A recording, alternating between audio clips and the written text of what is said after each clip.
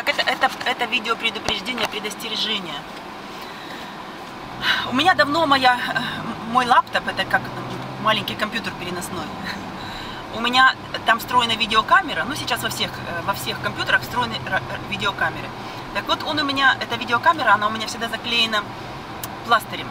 Вот этот, вот этот пластырь, который клеят на мозольчике на ногах, там есть кусочек э, ткани и остальной пластырь. Так вот, сама камера закрыта тканью. И меня все время спрашивают, а почему у тебя камера закрыта? Да потому что. Я давно читала в интернете и предупреждала там через Facebook ребят, там через, по-моему, через Одноклассники предупреждала, ребята, будьте осторожны, вас смотрят.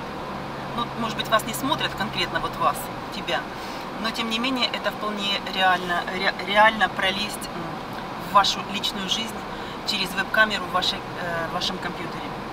Об этом э, как бы говорилось уже много раз, и вот вчера я смотрела передачу, я обожаю Андерсон, а, Андерсон Купер, э, американский как журналист, он, он, он э, всегда на каналах CNN, всякое разное, у него три программы, вообще замечательно. И оказался, что он гей, ну что поделаешь.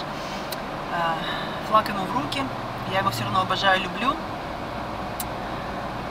Заразительный смех, и он недавно признался, открыл, как сказать, выпустил это на свободу, сказал, да, я гей, я очень, я очень, мне очень комфортно быть геем, он говорит, и судите, не судите, но я вот такой, молодец, молодец. Ну ладно, дело не в этом. Но я думаю, что была бы прекрасная пара. Он гей, любит мужчин, и Элен, Элен Шоу, она замуж вышла, женилась на, на известной актрисе. То есть девочка с девочкой, мальчик с мальчиком. Я думаю, что вот Элен и этот Андерсон, они были бы великолепной парой, такие умнички оба. Но что поделаешь, она любит девочек, он любит мальчиков. Ладно, дай бог им здоровья и счастья. Ну, как бы я в этого Андерсона Купера чуть-чуть влюбилась. Такой классный, маленький, такой худенький, такой седой. Ну, умница, живчик такой просто. Я его обожаю. Ладно, одна из передач была посвящена э, педофилам. Вот вчерашняя.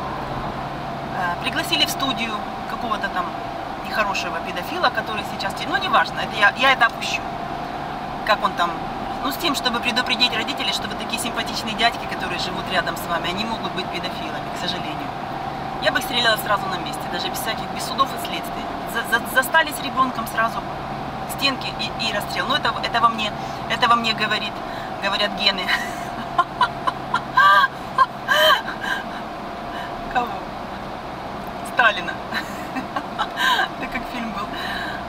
Необыкновенное чудо, когда царь прибегает. Это не я, это мой прадедушка, который ругался. Это не я, это моя прабабушка, которая там всякая разная. Так и я сейчас рассказываю.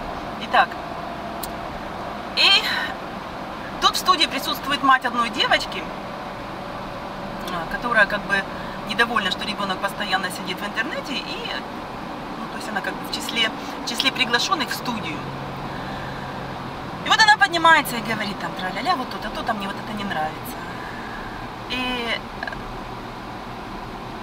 я уже не помню, как это, как это случилось, но факт тот, что но она, видимо, не зря была приглашена, потому что, видимо, заранее она должна была участвовать именно с этим вопросом.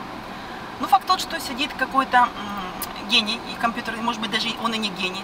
Совсем не надо быть гением, чтобы закачать эту программу, чтобы отправить кому-то этот вирус. Вирус будет пойман, откроется компьютер.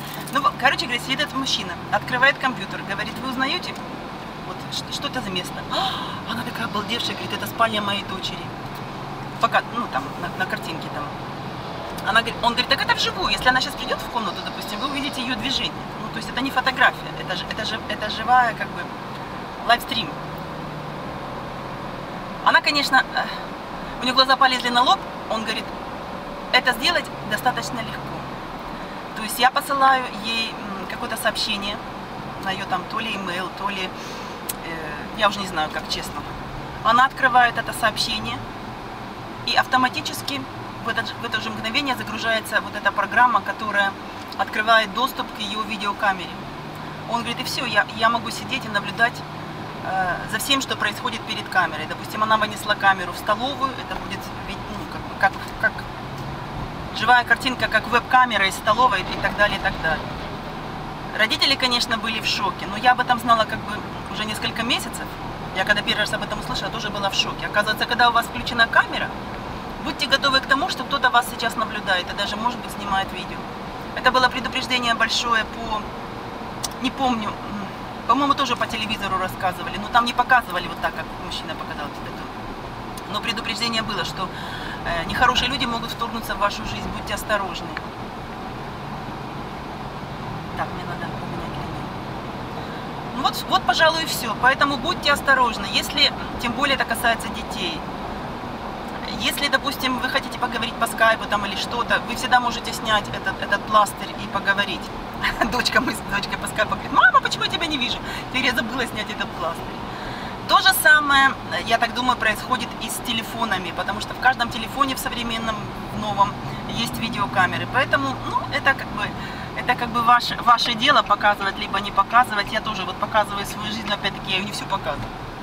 Я не хотела бы, чтобы кто-то меня видел, как я там принимаю душ или... Хотя скрывать нечего. Красота, красота на его Африке, красота. Шутю. Ну все. Желаю всем удачи. Очень хотелось бы, чтобы это кому-то помогло. И просто, просто с, настоящими сегодняшними технологиями я не знаю, что будет завтра. По всей видимости, вообще никакой прависи уже не останется. Потому что есть такие всякие шпионские штучки. Можно просто в дом отнести кому-то там вот такую пупусечку какую-то там где-то оставить, и можно тоже все это видеть.